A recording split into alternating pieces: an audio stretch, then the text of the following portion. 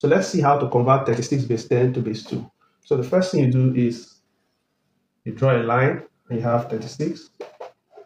So from the instruction we wrote down earlier, we're expected to break down the number in base 10 by the new base we are converting to, which is base 2, until we have 0. So we have to take note of the remainder. Whenever we break down, whenever we divide it, we need to write down the remainder. So let's divide by 2. We are going to be dividing by 2 because we are converting to base 2. So we have 2. 36 divided by 2 is going to give us 18. When 36 is divided by 2, we are going to have 18.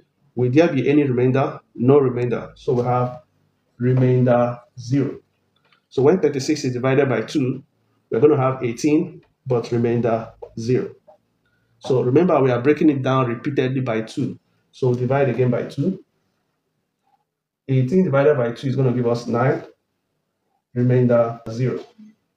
We continue again with 2, although 2 is not a factor of 9, but since we are converting to base 2, we are dividing repeatedly by 2. So 2 again. 9 divided by 2 is going to give us 4. But when 9 is divided by 2, we have 4, but there will be a remainder. The remainder is 1. Divide again by 2. 4 divided by 2 is going to give us 2. The remainder is 0. So we go again 2. 2 divided by 2 gives us 1. Will there be a remainder? Our remainder will be 0.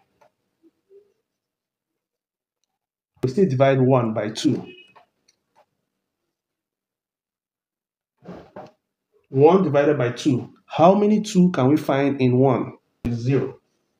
The remainder 1. Now you draw an arrow. You don't have to draw this arrow, it's not compulsory, but it just gives us a, a picture of what we are expected to do. So when you want to write the number, this arrow is telling us that we write the number from bottom to the top. That's what the arrow is telling us. This number we have here is the equivalent of 36 base 10 in base 2. So let me see if I can write it here. 36 base 10 is equal to 1, 0, 0, 1, 0, 0 base 2.